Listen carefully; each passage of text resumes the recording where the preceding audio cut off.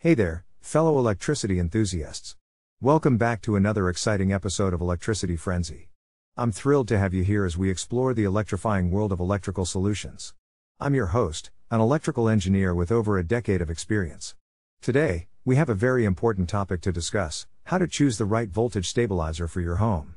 So, if you've been experiencing low voltage issues, fret not.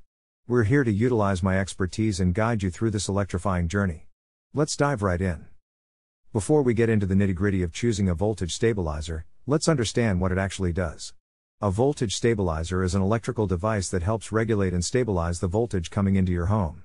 It protects your valuable electronic appliances from voltage fluctuations, which can cause damage or even reduce their lifespan. Now, let's explore the key things you need to know when selecting a voltage stabilizer for your home. Point number 1 Determine your power requirements. The first thing you need to know is the total power consumption of your household. This includes all the appliances and devices you regularly use. Check the labels or user manuals of your appliances for their power ratings in watts. Add up these values to get an estimate of your power requirements. This will help you choose a stabilizer with the right capacity to handle your electrical load.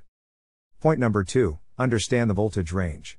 Different areas may experience varying voltage levels. In the United States, the standard voltage is typically 120 volts. However, voltage fluctuations can occur due to various factors such as weather conditions or power grid issues. Determine the minimum and maximum voltage range in your area.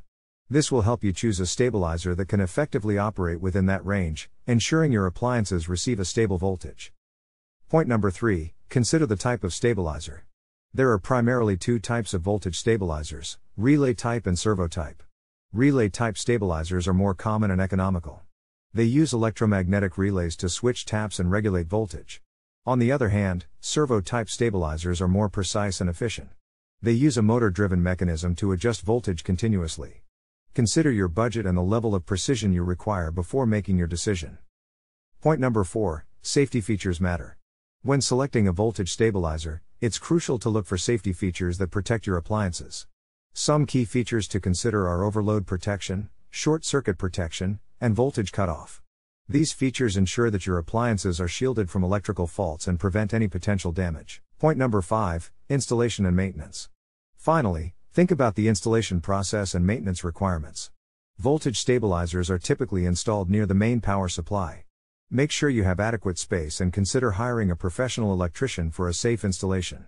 Additionally, check the warranty and service availability for the stabilizer you choose. Regular maintenance and timely servicing can prolong its lifespan and keep it functioning optimally. That's a wrap for today's episode, folks. Choosing the right voltage stabilizer for your home is essential to protect your appliances from low voltage issues. Remember to determine your power requirements, understand the voltage range, consider the type of stabilizer, prioritize safety features, and think about installation and maintenance. If you found this video helpful, I would appreciate your support. Please hit that like button and subscribe to Electricity Frenzy for more electrifying content. Your support motivates me to keep creating informative videos like this one. Don't forget to leave your questions and suggestions in the comments below. Until next time, keep the electricity flowing and stay safe.